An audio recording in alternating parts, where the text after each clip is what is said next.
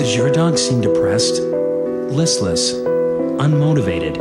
If so, he may be suffering from canine erectile dysfunction. CED affects up to 3 million dogs a year. Ask your veterinarian about Bonerol.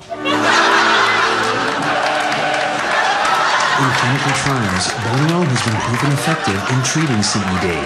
Side effects may include dizziness, hair loss, duty breath, and an increased desire for dragging ass across the carpet.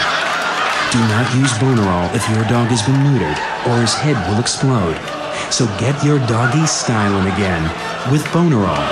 If your dog mounts your leg for more than four hours, seek help immediately.